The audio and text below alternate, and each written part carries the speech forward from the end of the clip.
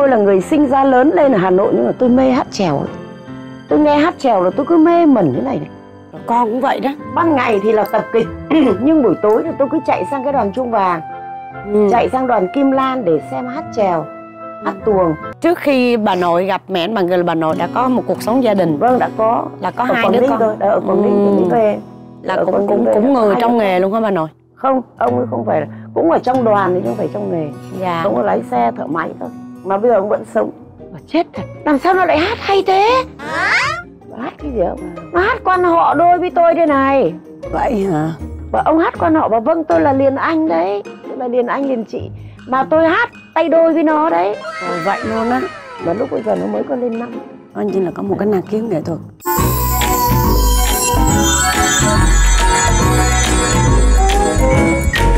mệt quá cả nhà ơi. Hôm nay ấy mình phải thể hiện hóa thân cái vai tấm cám mà mình đóng vai cô tấm.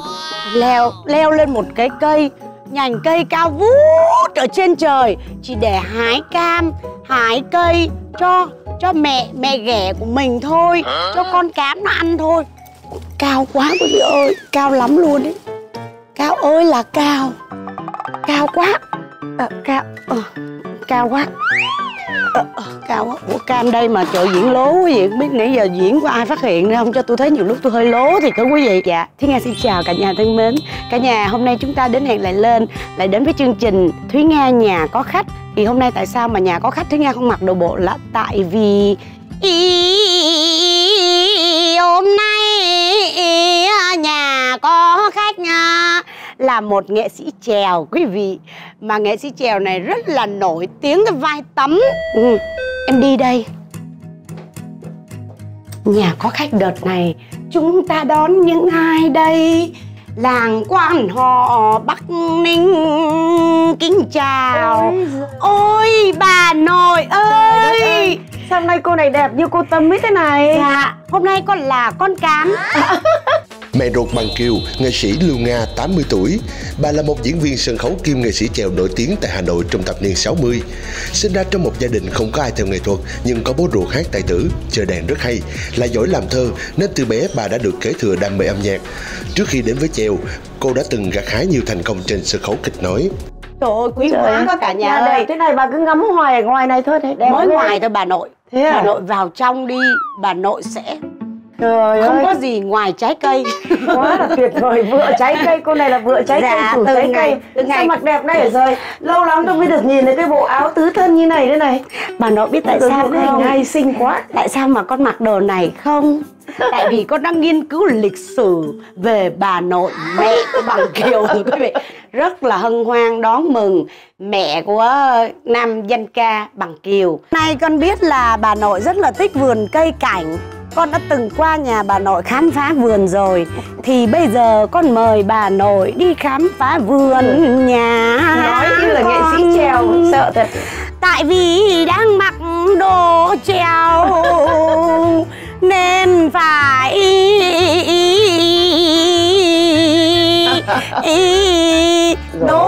đẹp lắm quá. Đây là gì? cái này cây bưởi Đúng rồi. Đẹp Rồi bà nội giỏi quá Bà nội biết đây là cây rồi tại sao lại sai thế này? Ôi nó chịu quả lắm bà nội ơi. Con Ờ. không hiểu tại sao mà cái cây bưởi này Từ ngày có cây bưởi này con đi Mê bán bưởi luôn đấy bà này. nội. Con mua cái này được ờ, chưa được một năm mà. Đâu con mới năm nhưng mà cái chủ cũ là nó à, có người ta cây chưa đi bưởi. đúng không? Người ta chưa đi. Nếu mà người ta chưa đi. lại thì con mới ở cái cái cây cái Đấy. quả này này. Tôi thích cái quả hồng này này. Cái hồng giòn đấy bà nội. Mà lại mình cứ tưởng tượng nó là cái cây thị. Đấy. Thế cho nên là tâm ơi Thị Dũng bị Thị bà thì dùng bị bà mà để bà người chứ bà không ăn Đấy thấy chưa. Nghệ sĩ trèo vào cái giọng nó mềm mại chứ không phải khô khốc như em đâu.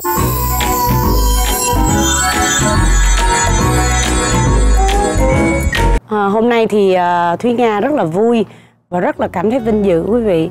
À, mời được một người nghệ sĩ gọi là lão thành đó à, tới đây mà lại là mẹ của anh Bằng Kiều.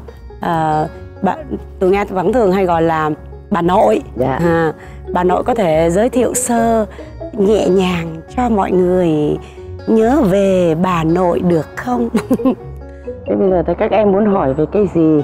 Dạ. Về cuộc sống riêng tư hay là nghề nghiệp? Ừ. hay là quá khứ hay là hiện tại? Ôi vậy là bà nội được hôm nay là tụi con sẽ hỏi hết đó. Ồ vậy hả? Tụi con đây sẽ hỏi hết. À, hôm nay là thúy nga là ừ, đã biết mẹ anh bằng kiều rất là lâu rồi nhưng mà cũng mỗi lần qua thì bà kể rất là nhiều chuyện vui và cũng biết rất là nhiều chuyện về bà nội và cũng biết về câu những câu chuyện rất là thú vị của bà nội. Cái ngày xưa bà nội uh, lấy cái cái nghệ danh của mình là cái gì ta? Là lưu nga. Cái cái ngày xưa đó bà nội lấy nghệ danh của mình là lưu nga đi diễn mà con lại nhớ là bà nội là nghệ sĩ chèo. Tôi thì xuất thân là một diễn viên kịch. Ừ. ô xuất thân là diễn viên kịch là bà diễn nội? viên kịch nói lúc bây giờ nó gọi là đoàn văn công tổng hợp. Vì người Dạ. ta mới mới mới mới mới thành lập nước mà. Ừ. Thì là năm 60 đã thành lập đoàn rồi năm năm chín 60 thành lập đoàn rồi. Dạ. Thế cho nên là bọn tôi vào đấy thì nó có gồm có tổ uh, siếc có đội siếc gọi là đội À. đội siếc đội ca múa rồi đội kịch đội chèo đấy. ừ. Thế nó gọi là văn công tổng hợp. Thế cho nên tôi thì tôi về kịch. Thế nhưng mà trong đó nó đã có cái đội chèo. Nhưng mà Ừ. tôi là người sinh ra lớn lên ở hà nội nhưng mà tôi mê hát chèo. Ấy. tôi nghe hát chèo là tôi cứ mê mẩn thế này này. Con cũng vậy đó. Ban ngày thì là tập kịch nhưng buổi tối thì tôi cứ chạy sang cái đoàn trung vàng ừ. chạy sang đoàn kim lan để xem hát chèo hát tuồng và hát cải lương. Tôi xem nhưng mà tôi chỉ thích xem hát chèo. Chỉ thích hát chèo bởi vì mấy cái đoàn đấy nó cái khu phố cổ nó ngay tại hiền nó gần đấy cho dạ. nên là tối thì mình không còn sinh hoạt nữa thì là mình ngủ tập thể mà một Dạ. lũ ngày xưa là toàn con gái hà nội mà mê lắm chưa bao giờ được sống tập thể là cứ rủ nhau đi tập thể ngủ ví dụ Ừ. như là mẹ của lê vân lê khanh ấy cũng cùng với cô là chị lê mai đấy nghệ Dạ. sĩ tú lê mai là bây giờ là mẹ của nghệ sĩ nhân dân lê khanh đấy ừ. rồi lê vi lê vân đấy mấy chị em rủ nhau đấy thế rồi ngân an chị ngân an là ngày xưa là là làm mẫu áo dài đấy cũng ở đoàn ấy tất cả rủ nhau lên đấy để ngủ để chơi tức là thích quá trẻ con mà thế cho nên là buổi tối là tôi có thời gian tôi cứ đi mò sang cái đoàn kia tôi xem gọi là là là, là, là đi xem cái cuộc sống ở ngoài nó như thế nào để khi mình hóa thân vào nhân vật cho nó hợp Ừ. Thì mỗi một lần chúng tôi biểu diễn cái gì ở đoàn chúng tôi thì có kịch thơ hoặc là bất kỳ một cái vở gì đấy diễn thì trước khi diễn thì là bao giờ cũng mở cả Dạ. chị Bạch Tuyết thế rồi là mấy anh ờ, Bùi Trọng Đang rồi là các thứ để tôi mê lắm. Thế ông Trần Huyền Trân vỗ vai con bé này hay nhỉ? ừ. Mày là diễn viên kịch sao mày cứ ý ới mày hát chèo vậy? Vậy em hát chèo có ảnh hưởng gì đến kịch của anh đâu mà kệ em trong em kịch là mà. mình được hát luôn Ờ, lận như thế này ừ. tính ra con đường nghệ thuật của bà nội là đi theo bao nhiêu năm và những cái vai diễn nào mà Tôi là từ năm nhất. bắt đầu từ năm 61 là ở đoàn kịch Hà Nội. Năm 62 thì là tôi là cái vai mà mà mà mà để đời cái năm đấy là cô lái đò là kịch thơ. Mà thực tế là tôi đóng một mạng người thì cái dấu ấn đầu tiên cuộc đời đấy là được có tiếng ở cái nhân vật cô lái đò người Ờ. yêu của danh tướng Trần Nguyên Hãn sau đấy cả cái khu phố cổ nó đi đâu gọi là cô lái đò ừ. đi đâu gọi là cô lái đò sau mới là cô tấm à Ờ, sau đó mới cô là tấm cô là sau này ừ. nhưng mà cái thời điểm đó ngày xưa là gia đình của thực sự ra bà nội nga vẫn thường gọi cái tên thân thương nó thành thói quen quý vị. Bây giờ chẳng lẽ là uh, nghệ sĩ lưu nga thì mình không có quen miệng lắm nên là nhiều lúc khán giả và chương trình nhà có khách cũng phải thông cảm là cái từ bà nội là một cái từ rất là thân thương với Thúy Nga Dạ, nó dạ. quen rồi và tất cả nghệ sĩ ở tại hải ngoại này cũng kêu là bà nội tại vì có ba đứa cháu nội ở thì đây đấy nên là nên cả là- hội nghệ sĩ cứ gọi là Ừ. bà nội nên là mình dùng cái từ bà nội thì nó thân thế thương thì ờ, bà ngoại thì lại gọi là bà ngoại bà Ừ. ngoại có các cháu thì ở hội lại gọi là bà ngoại bà nội bà ngoại là lớn nhất ở hội cho nên là Ừ. các em các cháu cứ cứ quen mồm gọi như thế ở trong hay. gia đình của bà nội ờ, ngày xưa là có ai đi theo nghề nghệ thuật không? Không có ai nghề này cả. Nhưng mà có lẽ là tôi ăn được cái gen nghệ thuật và thích đọc sách là của bố tôi.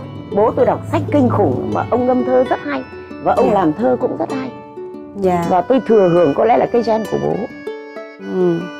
hát rất hay ngâm thơ rất hay. Mình đi theo ờ, về con đường nghệ thuật như vậy bao nhiêu năm thì ờ, bà nội bắt đầu lấy chồng là cái nhân duyên là gặp ở bố anh bằng kiều đó phải không? Thì là cái khi mà tôi ở đoàn Hà Nội thì tôi đã có một cái mối tình đầu với một cái anh giáo sư dạy ballet thế nhưng rồi gia đình không đồng ý. Bố tôi không đồng ý vâng. Dạ. thì hai người yêu nhau nhưng bố tôi không đồng ý vì chê anh ấy xấu. Anh cao lắm anh dạy ballet mà. Ông cụ thì lại muốn gả bán cho một cái người mà ta siêu tết từ lúc mà hai người bạn chơi với nhau là ông đẻ con trai tôi đẻ con gái thì gả cho nhau nhưng mà tôi đâu có biết. Bỗng dưng một hôm cái ông cụ bạn bố tôi đưa một người thanh niên đến chơi.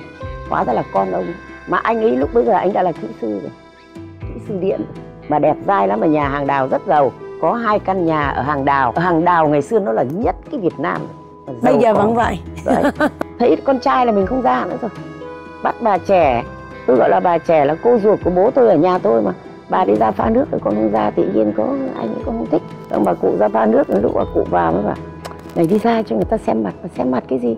Thầy mày là là là là hứa với người ta để chuẩn bị rồi ăn hỏi ăn xin. Thế là tôi Ừ. sợ quá tôi không ra nữa.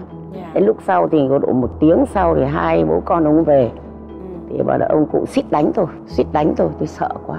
Cái sau đấy thì buồn phiền lắm. Sau thì cái biến cố nó kinh khủng lắm. Đến tối hôm sau thì cái anh người yêu đấy đến để đón tôi vào nhà hát giao hưởng. Dạ. Để xem anh ấy dựng múa ở trong đấy thì muốn đưa tôi vào xem. Dạ. Thế tôi là tôi xin phép tôi đi thì ông bố ừ hữ thôi. Mình đi về thì nó hơi muộn. Ừ. 10 giờ mới về đến nhà. Ông ấy tát tôi hai cái nời đó đó mắt lại quánh tôi hai cái. Và cái gương cái gương của anh tôi cầm cái cái gương ông ấy đập vỡ tan. Trong đó có hình của mẹ tôi tôi chả nói chả rằng là tôi chỉ cầm cái hình của mẹ tôi lên áp vào ngực tới lúc giờ tôi mới khóc. Và tôi quét những cái mảnh gương tôi đổ đi và tôi ngồi ngoài hè để ông đi vào. Thì cái người yêu tôi vẫn đứng ở bên đường để chờ vì sợ tôi bị đánh. Thế nào cũng bị ông già đánh. Tôi mới tức tuổi tôi ra tôi buồn, tôi đi ra ngoài cửa, ngoài ngõ, là ngoài đường đấy. Tôi khóc thì thấy ba người đứng bên kia thì ông sang ôm với tôi. Mà thôi đi em ở nhà này không được thế là đi luôn. Ôi rồi ôi đấy. thời điểm đấy khó vậy mà bà nội mà đi là đấy cuộc sống gia đình nó có những cái xáo trộn như vậy. Ừ. mà bố mình thì lại như thế mà lại còn gì ghẻ nữa. Ừ. mình chẳng có một cái cái cái cái cái cái ai để mà đỡ chân đỡ thân mình hết. Mình đi theo người ta sau đó thì là một hai hôm thôi thì đi về nhà cậu đi về nhà ngoại đấy về nhà ngoại ở với bà ngoại với cậu thì là ông này ông ấy nghĩ rằng là ông đòi cưới. Thì tôi bảo không em còn ít tuổi nữa em đi làm cưới xin gì đâu. Ông bảo hay là đi về quảng ninh đi về móng cái với anh. Ông ấy về móng cái đi về đấy em về đoàn văn cưng móng cái. Mà không em không đi xa thế đâu mà em không có lấy chồng đâu. Và tại sao lại thế? Thì ông ấy nghĩ rằng là mình thay đổi. Ừ. là chắc là gia đình đang bắt lấy người kia và người kia kỹ sư mà giàu có như thế thì ông ấy ông ấy thế là ông giận. Ông ấy bỏ vào trong đoàn 3 tháng không, hỏi han gì đến tôi. Sau cái vụ đấy thì có một người bạn ở Hà Nội lại ở cái đoàn Quảng Ninh. Người ta nghe tin tôi là thôi đoàn Hà Nội rồi. Và hận hận cho đến suốt. Cho đến bây giờ thì ông ấy chết rồi thì mình thấy thương. Và mình quá hận ông ấy. Tôi thề không bao giờ tôi về Hà Nội nữa. Đấy nó nó có tại vì mình nghĩ là mình đã trao thân gửi phận những người ta rồi thì mình là vợ rồi. Cho nên là tôi hận lắm. Ừ. tôi rất là hận tôi tổn tổn thương gần một cuộc đời tôi thường tổn thương thương kinh khủng và không bao giờ tôi quay lại không bao giờ muốn nhìn mặt ông nữa. Và tôi đi ra Quảng Ninh không bao giờ tôi về Hà Nội nữa. Ừ. đi ra Quảng Ninh lúc bây giờ cũng là đoàn tổng hợp như ngày xưa là đoàn kịch Hà Nội. Thế là đi về đoàn trèo luôn. Thế là cũng hát trèo mà chả học hành gì cả. Đóng nhân vật nào thì học cái bài của cái nhân vật đó. Học nhanh lắm học cái được ngay. Tập cái học ngay tức thì mà hát ngay tức thì mà chưa bao giờ đóng vai phụ. Ta đóng vai chính. Toàn đóng chính con con cảm giác được đó là khi mà trò chuyện với bà nội bà nội kể về cái cái sự nghiệp của mình ngày xưa thì con thấy là anh bằng kiều rất là thừa hưởng cái gen của mẹ. Dạ vâng sau này thì bằng kiều rồi đi hát trong bụng mẹ từ tôi có mang 5 tháng tôi vẫn phải đi diễn. Thì khi mà tôi không ở cái đoàn trèo Quảng Ninh nữa cũng Dạ. là một cái sự cố gia đình thì thôi cái đoạn đấy mình không nói nữa. Thì tôi lại đi về Hà Nội mang theo hai người con gái. Mang về Hà Nội thì lúc bây giờ là đoàn kịch Hà Nội cũng muốn tôi về đoàn trèo Hà Nội cũng muốn tôi về. Nhưng mà tôi nói là tôi đã bước chân đi không bao giờ quay lại. Lúc bây giờ giám đốc của sở văn hóa Hà Nội Dạ. đến tận xí nghiệp. Bố anh bằng kiều ngày xưa có phải là một nghệ sĩ hay là không là nghệ sĩ nhưng ông ấy rất giỏi. Ông ấy Ờ. chơi nghiệp dư rất là giỏi. Nghiệp dư đầu tiên ông là nghệ sĩ ông ấy diễn viên kịch giỏi lắm Ồ, cái thời cái thời điểm ngày xưa bố anh bằng kiều là làm về nghề gì ạ? Là y bác sĩ. Ồ là y bác sĩ Thế nhưng mà bởi vì là ờ, cứ chơi nghệ thuật với nhau thôi ở cái nhà ở nhà văn hóa thanh niên. Sau này từ cái nôi nhà văn hóa thanh niên mà biết bao nhiêu nghệ sĩ nhân dân từ đấy mà ra đấy. Thế sau đấy thì là cứ đi hát với cái đoàn này. Ngày thì làm tối thì hát. Hoặc là cái mùa mà sản xuất ít đi thì chúng tôi lại đi diễn các tỉnh miền Bắc không chỗ nào không đi. Tại sao tôi lấy bộ bằng kiều nó cũng ly kỳ lắm? Ông ấy là người mê, rất là mê. Ca nhạc. Ông thì làm trong bệnh viện mà bệnh viện Việt Đức thì ngay ở cái chỗ phố Tràng Thi. Ở giữa phố, ông ấy làm ở giữa phố thì đầu phố là cái xí nghiệp sơn mài của chúng tôi. Mà ông là người yêu văn nghệ, ông thích học nhị. Ông đến đây để ông học mấy cái ông ờ, nghệ sĩ già kéo nhị không biết ông có mê mình không thì không biết. Ồ chứ không phải là bà nội khúc mà bà nội bị bệnh rồi xong ở vô trong bệnh viện gặp. Không sau đấy thì là sau đó thì đoàn mới thuê ông ấy kiểu như là chịu trách nhiệm sức khỏe cho tôi. Mỗi một đêm đi diễn xa thì ông phải tiêm cho tôi một cái ống atopin để tôi không có say xe. Đến một cái thì tôi diễn được ngay chứ nếu không thì mình đến mình ói, mình giết các thứ là mặt xanh anh vàng làm sao hát được. Thế rồi là cái ý nó cũng chưa phải, nó chỉ là cái tình anh em thôi. Nhưng mà sau đó mà nó để cho mình cảm ông ấy là ông cứu hai đứa con tôi. Cá chuối đám đuối vì con mà. Hai đứa con gái của tôi, một đứa nó bị cái nhọt như này này.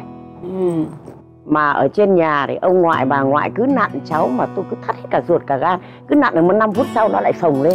Thế hôm mới diễn xong mà anh ấy làm sao khổ quá con thứ hai nhà em nó bị như thế. Mà lúc bây giờ cháu mới được có 3 tuổi 4 tuổi. Bây giờ thì như thế nào này anh xem anh anh có cứu được em không? Trước khi bà nội gặp mẹ anh bằng là bà nội đã có một cuộc sống gia đình. Vâng đã có. Là có ở hai đứa con. rồi đã ở Quảng Ninh Ừ. ừ. về là ở cũng cũng cũng người trong nghề luôn hả bà nội? Không ông ấy không phải là cũng ở trong đoàn thì chứ không phải trong nghề. Dạ. Ông ấy lái xe thợ máy thôi. Mà bây giờ ông vẫn sống. Ừ. vẫn sống ở Quảng Ninh giàu có lắm. Thì hai đứa con nó bị như thế thì là ông mới đưa vào thế em cứ đưa cháu đến đây. Thì đến bệnh viện có phải dễ đâu. Đủ các loại giấy tờ mới được vào bệnh viện trung ương chứ. Dạ. Thế ông đưa cái một đi vào bệnh viện ông ông bác ấy- sĩ mà. ông ấy thử tay cho nó cái để để kháng sinh đấy ông Ừ. bảo không sao để anh để anh chữa anh em yên tâm. Thế ông tiêm thuốc tê cho nó rồi ông cho cái sơ ranh ông hút một cái sơ ranh dài đấy toàn máu mủ về tịt luôn khỏi luôn. Là mình phục lắm rồi mình thần phục lắm rồi mà giỏi quá rồi. Thế mình bảo tuyệt vời thật. Trong đến cái cô thứ hai là cô lớn bây giờ là tự nhiên tóc nó rụng. Vuốt một cái thế này nó nó rụng như là mình nhổ cái lông con chim hay là nhổ lông con gà. Ừ. vuốt cái nó ra nắm. Ông bảo tôi chết rồi có khi cháu bị nấm rồi em ơi và em sợ quá anh ơi. Ông bảo thôi được rồi đưa lên là anh xem nó như thế nào thế là ông ấy bảo rằng là nó bị suy dinh dưỡng nặng. Nó bị suy dinh dưỡng. Dạ. Thế là mình bảo bây giờ làm thế nào anh cứu em thế này thì em chết mà em chẳng hiểu thế nào. Ông đưa thẳng vào bệnh viện Việt Đức để tắm tia cực tím. Tắm tia cực tím được con ông cháu cha thì một tuần được tắm một lần là ghê lắm. Ừ. một tháng là được hai lần. Đây con mình đủ 30 ngày. Sau 30 ngày nó hồng hào nó nhớn nó ăn như điên và tóc xanh như mây ấy. Tự- người ta cứu con mình. Tự Ừ. nhiên mình thấy quý quá rất là quý ờ thế thì là lúc bây giờ cũng chưa hẳn là tôi yêu ông ấy đâu, tôi đang yêu một người khác. Đang quan hệ với cái người đấy mà để chuẩn bị để là lấy nhau. Anh ấy là, anh là nghệ sĩ nhân dân Bùi Huy Hiếu, họa sĩ. Thì ông ấy lại nói với tôi cái câu này, em ơi, sau này mình chia con này mình lấy bé Uyên, mình đừng lấy bé Giang. Tức là lấy cái con bé lớn, không lấy con bé thứ hai. Nếu mà có phải chia con thì mình lấy bé lớn đi, đừng lấy bé thứ hai. Tôi nghe cái câu đấy tự nhiên tôi đau lòng lắm, tôi bỏ luôn. Bỏ ngay tức thì trong lúc là mình- cái người rất là mạnh mẽ mà mạnh mẽ khoát. Mà tranh vênh như thế buồn phiền như thế đau chứ cũng đau chứ. Con cái mình như thế thì ông này ông cứ ông ấy, ông cứ thắc ke chúng nó. Ừ. thế là cứ thế là ờ, thành thân thiết. Thì mình thấy nhà ông này tử tế cũng vui mà con cái cũng ngoan. Dạ. Nhưng ông có một người vợ ở quê nữa. Thì ông cũng nói thật cái người vợ này là tôi lấy tảo hôn. Lúc Ừ. tôi 12 tuổi thì bà mẹ bắt lấy mà cô ấy thì 19 ừ. Lấy về để làm bạn và cũng như là người làm người bạn với bà cụ bà cụ là bà lang mà. Ừ. lấy về thôi chứ thực tế ra là cũng chẳng yêu đương gì. Cái năm 16 tuổi bà cụ đánh đòn và nhốt vào trong buồng bắt phải ngủ với bà ấy để đẻ con. Ồ, chị hả? Thì cái người đấy thì tôi không bỏ được. Ừ. về luật pháp thì cho bỏ nhưng tôi không bỏ. Thì bây giờ thì, thì tôi rất là thương em mà thương các con thương các cháu lắm. Bây giờ em về nhà tôi ở đi đừng ở tập thể thế này khổ quá nheo nhóc thì thôi thì nga về với bọn tôi về với tôi về với các con các cháu. Thế thì mình thấy là mình cũng thấy bùi tai cũng được. Thì lúc bây giờ thì chỉ có hai đứa con lớn của ông ấy thôi. Hai đứa con của bà cả là cái cô sinh năm 47 Dạ. năm nay nó gần 80 rồi đấy. Dạ. Với là một cậu kỳ xỉu. Thì hai đứa nó đang học ngành y. Lấy ông ấy xong rồi là chiến tranh. Chiến tranh b 52 đấy. Dạ. Là bọn tôi đi sơ tán. Thì mình đi sơ tán. Lúc bây giờ thì công việc của sĩ nghiệp cũng không có để mà làm nữa. Thế là nghỉ hết thế là thôi. Vợ chồng bồng bế con cái đi thì lúc giờ tôi chưa có chưa đẻ bằng kiều. Tôi mang đứa con thứ hai của tôi đi. Tự nhiên năm đứa nó rồng rắn lên mây ở nhà quê nó lên. Mà chúng lại háo hức là lúc bây giờ đình chiến ở Geneva rồi mà. Ngừng bắn rồi ngừng bắn rồi tất cả chúng nó đi lên tỉnh để chơi với bố. Dạ. Đi lên nhà cậu. Thì mình tưởng là cháu ông gọi là cậu mà. Nó Ừ. toàn gọi bố mẹ đó là cậu mợ thôi. Thế hàng xóm ta thương cô tấm ơi khổ thân cô tấm con ông ấy đấy. Tôi ngồi đó mà tôi khóc không thành tiếng cơ mà ờ, ừm, tôi thì ở dưới nhà trẻ con nó xuống nó ờ, mấy bà bán nước bà ơi cậu cháu đi đâu ấy nhỉ? Nhưng mà con nhà ai đây à các bà? Xong rồi bà ngồi khổ thân cô tấm con ông bùi đấy. Ba đứa con của bà quý mà hai đứa con bà cả đã là năm. Lúc là ngồi không khóc được nữa không làm sao được nữa bây giờ cũng không bỏ được nữa. Dạ. Ơi, đau khổ. Lúc bây giờ có chửa bằng kiều rồi. Làm sao bây giờ? Không thể bỏ được. Đành thôi ngậm đắng nuốt cay mà ở thôi ừ. cứ thế mà ở thôi. Tức là bắt đầu nó là bà với lại ờ, bố anh bằng kiều là có một mình anh bằng kiều thôi đó. Chỉ có một mình cái bằng kiều ông mà đẻ nữa thật không nhiều quá rồi. Mà Ông thì quá nhiều tài của con. gia đình đấy. Mà tôi cũng có con rồi thôi bây giờ đẻ mấy thằng này để để, để, để làm cây cảnh thôi. Để làm cảnh mà đúng nó là cây cảnh thật. Hầu nó thấy mẹ luôn. Vì nó út ít mà. Nhưng mà anh bằng kiều á từ bé là anh đã có cái bộc lộ về nghệ thuật gì và từ bé biết nói là biết hát. Vậy hả? Biết nói là mẹ hát câu gì thì cứ như con chim mới há cái họng thế này để để nghe mẹ hát xong hát theo. Nó tựa như cái thằng bé con thứ tư của nó bây giờ. Ồ cái thằng nhóc đó bây giờ cũng gì đó. Tức là mẹ hát câu gì nó hát câu đấy nhưng mà tôi thì tôi hát trầu văn nó hát trầu văn tôi hát trèo nó hát trèo thế xong có một lần đi diễn ở bắc ninh thì tối thì sợ ra ngoài đi diễn ở ngoài đồng mà dạ. Toàn diễn ở ngoài sân sân bóng ở ngoài đồng cơ. Ừ. thế là không cho đi sợ sợ muỗi. Ừ. Thế ông ông chủ nhà ông bảo thôi bác cứ để à cô cứ để cháu ở nhà với tôi. Không có sao Ừ. cả. Thế là hôm ấy mình diễn xong mình về thì ông ấy đang ngồi vỉa hè. Chết thật mình sợ quá tưởng con mình ốm làm sao. Và ông ơi bác ơi cháu làm sao? Và chết thật làm sao nó lại hát hay thế? Bà hát cái gì không nó hát quan họ đôi với tôi đây này. Vậy hả và ông hát quan họ và vâng tôi là liền anh đấy. Tôi là liền anh liền chị mà tôi hát tay đôi với nó đấy. Ồ, vậy luôn á? Mà lúc bây giờ nó mới có lên năm. Anh chỉ là có một cái năng khiếu nghệ thuật. Lúc bây giờ tôi mới biết là là là là nó hát như thế. Tại vì mẹ hát cái gì nó hát cái đó. Ừ. tức là nó cũng mê từ bé. Cái tố chất nghệ thuật của nó từ bé. Và đến bố ảnh cũng là có cái mà cái, bố cái nghệ thuật năng khiếu nghệ thuật ông ấy hài hước kinh khủng ông hài lắm ý cực kỳ hài hước thì đấy bà thế bà nội mới độ đấy. Hài ơi là hài mà vui tính lắm ông hiền lành lắm. Dạ bằng kiều là cũng vừa có cái vừa cái cái, cái gen của hài. bố vừa gen của mẹ. Tôi hài hước tôi vui tính. Và thực tế tôi cũng ảnh hưởng ông ấy nữa. Và cả gia đình thì hài hước lúc nào chỉ có tiếng cười. Thôi. vậy hả? Ờ mà nếu vợ chồng Là- cãi nhau thì con đông quá thì cứ đi xe đạp cãi nhau ở trên xe đạp. Hoặc đi lên Có hồ nghĩa- tây đi lên hồ tây để ngồi ở bờ hồ để không ai ta nhận ra mình. Chứ ngồi ở bờ hồ hoàn kiếm người ta nhận ra cô tấm để bảo mẹ. Chứ là ngày xưa mà bà nội với lại bố anh bằng kiều mà bất đồng á là Là không dám ngoài. cãi nhau trước mặt con. ngoài. Không bao giờ luôn. Một là đi cà phê Nói nói nhỏ cái- nhỏ với nhau. cái cảm xúc của mình đang bực thì làm sao mình mình có thể kềm nén được ra không. tới bờ hồ được ta? Bởi vì là con nó đông quá mình phải có lòng tự trọng con chúng nó lớn quá rồi. Ừ. mang tiếng chết không nhưng mà con nghĩ là từ cái đường. quá trình mà đạp xe á, từ nhà mà ra tới cái bờ hồ là nó đã nguôi hết cái cơn giận rồi. Không cứ lầm bầm ở trên xe lầm bầm không dám nói to đâu người ta cũng nhận ra là cô tấm. Ồ tại cô tấm nổi tiếng quá đó thì làm sao mà dám Dạ. ĩ dạ dạ. khổ đến như thế cơ. Ừ. Cho nên là thôi nhịn đi. Mà cũng gọi là Lớn nên là tiếng ở đây ào. tại sao mà bà cứ lúc nào bà cũng chỉn chu thế nhỉ? Thì bà có phân tích với các em thế này này. Ở trong nhà bà cũng muốn đẹp mình là nghệ sĩ mà. Ừ. muốn đẹp cho mình và cho những thỉnh thoảng có con cháu đến thăm. Tự nhiên nhìn bà nội lúc nào cũng chán quá người ta cũng buồn thế thì thỉnh thoảng nếu có bằng kiều ở đây thì bạn bè nó sang người ta cũng buồn. Nhưng ở bên này thì không biết tôi là ai thì các con các cháu gọi là nghệ sĩ lưu nga thôi chứ không biết là tôi làm cái nghề gì không biết là cái nghề qua gì cái ở cuộc trò chuyện người ta sẽ biết nhiều. mà là mẹ bằng kiều ừ. ở kia mẹ bằng kiều kia bà nội mẹ bằng kiều thì mình phải như thế nào đi ra ngoài đường đúng không? Để Dạ. mình giữ cho cái hình ảnh cho gia đình cho con cho cháu.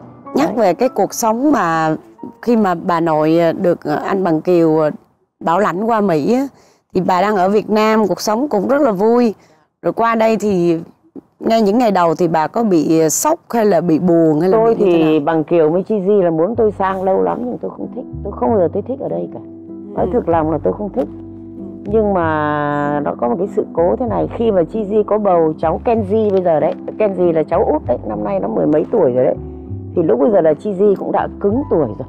Mà có thể là sinh đứa nhỏ này ra nó sẽ không được bình thường lại cao tuổi nữa rồi một là nó bị đau, hai là nó bị tự kỷ. Bà mới nghĩ đi nghĩ lại và thôi con, phúc nhà mẹ dày lắm. Tôi nói với chị gì như bằng kiểu, phúc nhà mẹ dày lắm. Để đẻ đi nó đã vào nhà mình thì để cho nó thành người. Sinh nó ra đi xấu mẹ nuôi tốt mẹ nuôi mẹ ở đây. Bây giờ đi lấy thẻ xanh cho tao đi. Lúc bây giờ tôi mới chấp nhận đi lấy thẻ xanh. Còn trước đây là cứ mỗi năm sang một lần. Cứ xin visa một năm sang 4 tháng xong về hai tháng lại sang 4 tháng. Cứ tháng nào cũng đều như vắt chanh từ năm 2004 đến nhưng mà không có ở lại. Ở lại là không ở. Cứ khăn gói quả mướp đi sang với con bao nhiêu tiền mang hết đi sang bên này để, Ừ. để, để, để, để, để nhìn được con. Mới mới được một tí cháu mà. Mới Ừ. được thằng bách cầm yêu quá cháu ông ấy thì quá nhiều nhiều lắm. Cũng rất yêu nhưng mà cháu chính thức của mình mình mới được một thằng cháu nội thương lắm. Thế bây giờ lại chuẩn bị một đứa nữa mà bây giờ mẹ nó bỏ đi thì mình thấy không được. Nó để đẻ thằng bé thật. Thế đến lúc mà 8 tháng sau thì tôi được thẻ xanh. Thì lúc bây giờ là hai tháng nữa nó mới sinh ken gì là gì. Dạ. Cái chi gì thì nó kiểu nó thật mà. Nó bảo bây giờ có thẻ xanh rồi đấy thì thôi mẹ về Việt Nam được rồi. Ừ. tưởng là mình nhớ Việt Nam quá mà không mẹ tròn con vuông mày đẻ đi, xong rồi ta mới về. Đến cái hôm mà nó dở dạ nó đi sinh thì ôi rồi tôi lo lắm, bồn chồn, không ăn, không ngủ được. Nói bằng kiều con một đứa bé vừa mới ra đời phải gọi mẹ ngay nhé. Xem nó như thế nào? Vừa mới lọt lòng ra xong, cắt rốn, cắt chiếc quấn xong kiều gọi luôn cho bà. Là thế nào con? Vừa mới mấy phút xong mẹ thế nó có khỏe mạnh không, như thế nào? Khỏe lắm, khóc như điên, tiếng khóc như xé vải thế thế là ghê gớm, đánh đá lắm. Kiều mà. Còn nó giống ai? Giống bất cần giống bách cầm thì giống bà nội mà. Nó cười phá lên. Ôi tôi mừng quá. Thế là ba ngày sau mẹ con nó về nó bồng bế nhau về. Thế từ đấy rồi đi là bà chôn chặt rồi đấy. Cứ trông cháu thế thôi. Thế là coi như là lúc Từ nó bé thì không bà- ai bế nó được ngoài bà nội. Nó ghê gớm mà nó khó chịu lắm.